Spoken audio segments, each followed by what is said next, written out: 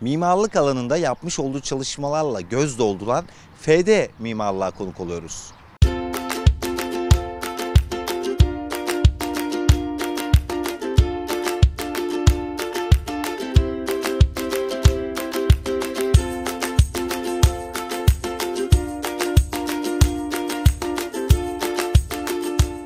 Şehirde Yaşam'da FD Mimarlık Funda Arkas'la birlikteyim. Hoş geldiniz Funda Hanım programımıza.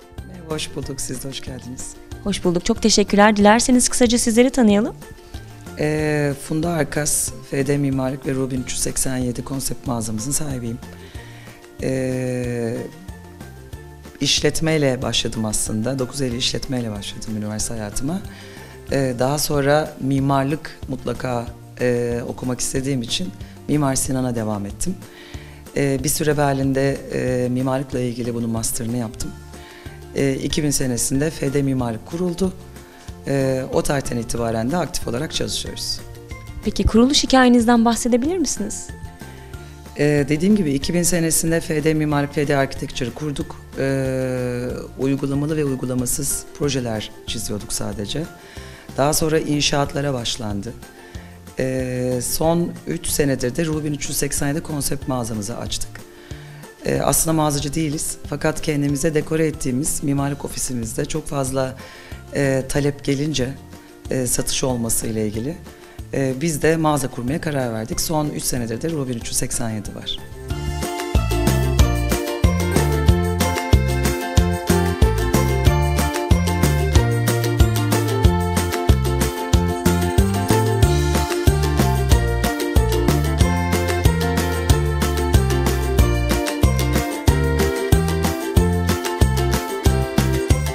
Peki bu yıl ve önümüzdeki yıllar için hedeflediğiniz planlarınız nelerdir? Biz aslında çok fazla planlı e, maalesef ilerleyemiyoruz çünkü e, çok yoğun çalışan bir firmayız. E, İstanbul, İzmir, Çeşme, Alaçatı ağırlıklı. Yurt içi ve yurt dışında çok çeşitli projelerimiz oluyor. Dışarıdan gelen proje taleplerinin dışında zaten gördüğünüz gibi kendi yapmış olduğumuz projelerimiz ve inşaatlarımız da var. O nedenle çok e, planlı programlı gidemiyoruz ama e, yoğun bir sene bizi bekliyor onu biliyoruz.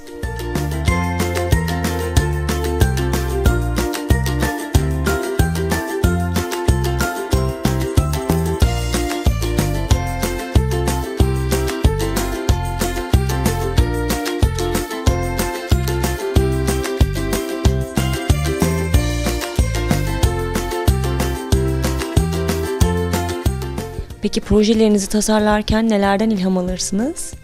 Kişilerden, e, mümkün olduğu kadar ev sahiplerinden e, bir sürü ev sahibini tanımaya çalışıyoruz.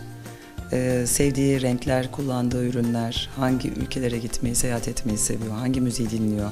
Biraz birbirimizi tanıdıktan sonra biz genelde e, gerçekten e, tamamen müşterilerimizden ilham alıyoruz. Kendi işlerimizde de trend ve modayı takip etmiyoruz. Çünkü bizim zaten oluşturduğumuz bir tarz var. Genelde e, çelik konstrüksiyonlar, ahşaplar, brüt betonlar ve eski ağaçlardan, eski taşlardan e, dokusu olan daha doğal malzemelerden oluşan bir e, konsept ilerliyoruz, çalışıyoruz. O nedenle de e, ilham kaynağımız aslında burada eğer e, Alaçatı'da köy içinde yapıyorsak projelerimizi e, köyden ilham alarak yürüyoruz. Bulunduğumuz dokuya bağlı birazcık. Peki bizleri izleyen sevgili seyircilerimiz sizlere ulaşmak istediğinde hangi sosyal medyalardan ulaşabilirler? Ee, Instagram ve Facebook hesaplarımız var. Ee, Rubin 387 olarak girebilirler. FD Architecture olarak girebilir. Ee, web sitemiz e, mevcut. FD Architecture diye bakabilirler. Zaten sanıyorum o bilgileri vereceksiniz. Ee, web sitemiz e, Rubin 387 konsept mağazamız ve FD mimarlık olarak e, Instagram, e, Facebook ve web sitesinden görebilirler.